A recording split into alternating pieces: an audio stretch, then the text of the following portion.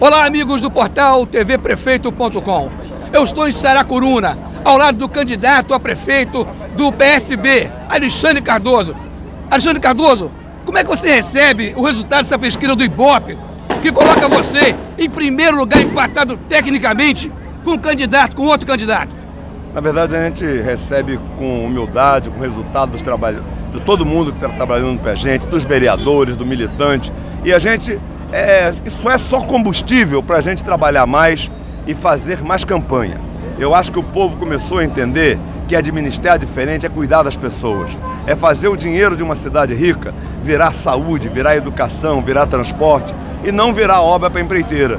É por isso que cuidar da gente é fundamental. E a marca da nossa campanha é cuidar do caxiense, principalmente com muito amor.